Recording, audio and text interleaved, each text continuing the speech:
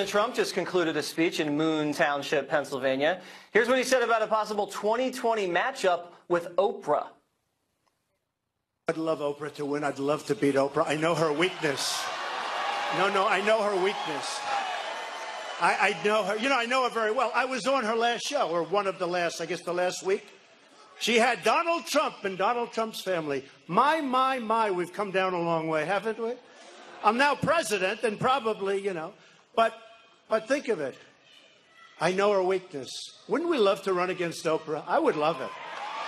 I would love it. That would be a painful experience for her. Joining me now with reaction, former Secret Service agent and NYPD officer Dan Bongino, who is a contributor at NRA TV, and video bloggers Diamond and Silk. All right, I'll start with the ladies. It's going to be painful for Oprah if she runs against President Trump. What do you guys think? Oh, it will be painful. Very. He is going to chew her up and spit her out, and we will help him. Yeah. Yes, uh huh. Yes, she is going to get beat badly. What do you think Oprah's weakness would possibly be? Um, I think her weakness is the fact that she is going along with discrimination, inequality, um, and no one is saying anything about it. You know, that's what I think her weakness is. And that's what, and listen, she's not for the American people. She built a school in Africa. She wasn't worried about the American people here, the children in Chicago or That's right. Baltimore. So those are her weakness. Okay. Um, Dan, I want to get you to react to some sound about North Korea. Let's listen to the president and hear what you have to say. I don't know if you saw it, but we've had a problem for years with North Korea. This should have been handled, by the way, over the last 30 years, not now. That's when it should have been handled. They shouldn't have handled it. This should have been handled, and everybody will say it too. But that's okay, because that's what we do. We handle things. This doesn't happen. You know, they're saying, oh, well, Obama could have done that. Trust me, he couldn't have done that. He wouldn't have done that. He would not have done it. And by the way, neither would Bush and neither would Clinton. And they had their shot, and all they did was nothing. They, well, Clinton gave away billions and billions of dollars. And as soon as they made the deal, the following day, they started working on making more nukes. We've been very strong and very vigilant. And now lots of good things I think are going to happen, but we'll see. All right, so Dan, the president's making the point that he came out with a lot of tough talk, fire and fury, and everybody on the left and the media said this was going to cause World War III. But it didn't. Everyone's now coming to the negotiating table. Do you think the left and the media are going to give him any credit or not? Um, well, li- listen, shockingly, Jesse, even some people on CNN actually said if he pulls this off, he'd be a great president. Believe me, I'm no fan of CNN, and it pains me to have to give them credit. But let me Would you have to catch that at the airport when you were waiting for your flight? Yeah, you know what? I, and I, I, I, you can't hear anything, which is great. You can only see the talking heads in the airport. Right. But here's the thing: Donald Trump, what got him elected, Jesse? He's a doer. Okay, he's not an explainer. He gives great speeches. Don't get me wrong. I'm not knocking his ability to give a speech. Nobody motivates a crowd. Obama was an explainer. He spoke Yeah. in fine Shakespearean prose. Uh, he could, he could, he, I'll tell you what, he could talk a, a crowd into anything, Barack Obama, but he wasn't a doer. Kim Jong un knows Trump is a doer too.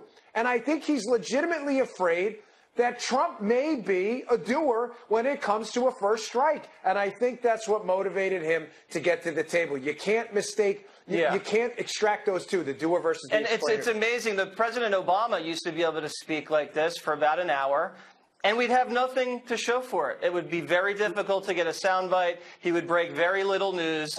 But I mean, this president can speak for an hour and change and cover almost every single topic and, you know, set the agenda for the next few days. Ladies, I want to get your opinion. The president said something else about the women's vote. Let's hear it.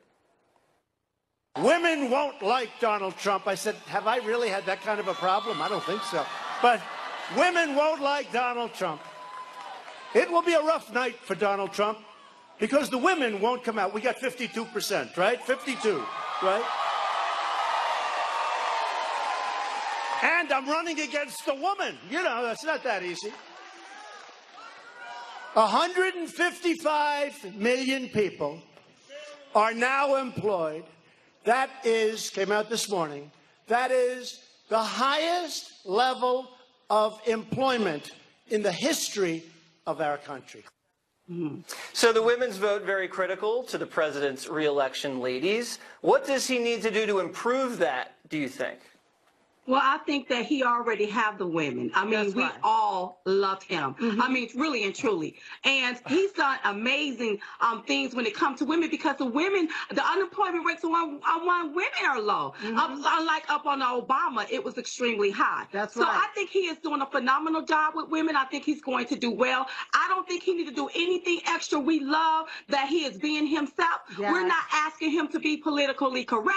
What we want him to do is be correct about the border, secure it. That's keep right. on keep fixing this economy where Yes. we're thriving, and we're going to help him make America great again. So he had the women. All of them. All right. Well, and the president did touch on the threat from MS-13 and uh, all the great job the ICE agents are doing. Dan, we got to run because we got to hit the break. But I just want to thank you guys for sticking around and uh, kicking it around on Watters. Chadwick, I, I know I'm painting with a broad brush here, but I can kind of picture the staffer in question sneering at the middle of the country and maligning an entire group based on their skin color, which I thought was not allowed. Right. Yeah, I don't believe your guest for one second when he thinks your former guest when he says he thinks that these these articles are meant to be satire, make fun of racism. No, no, no, no. It, it's exactly I think how you painted it. These sort of uh, liberal Oberlin kids who graduated and live in Brooklyn and and for some reason want to. Uh, believe in this sort of dismantle the wealth narrative, and they think the way to do that is to attack white people. I mean, it's, it's Marxism, it's socialism, and it has the mainstream media's ear, it has mainstream society's ear. Uh, when you see these people who, who obsess over victimhood so much. It's so fascinating because if, if you want to see racism everywhere, if you're brainwashed to see racism everywhere, or homophobia everywhere, or whatever, then you will. That's the world you will live in.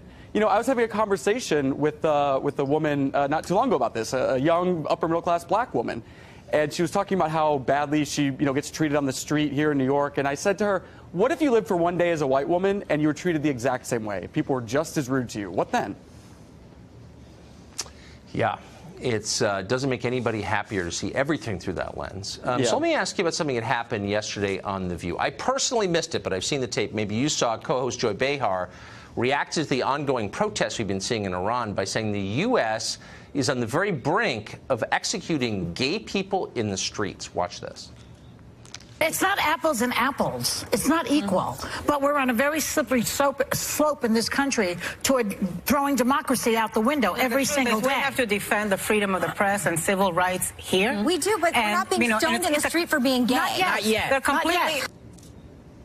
Now, how close do you think we are to a country where people are stoned in the streets for being gay, as Joy Behar suggests? Look, you know, I have to tell people this all the time. We can't even get funding for the wall, so the gay death camps are definitely not happening till the second term. I mean, we really have some time to battle this. She's, uh, she's completely ridiculous. This narrative that they want to push is so absurd. There's no proof to it. It's total, it's just it's such a load of bull.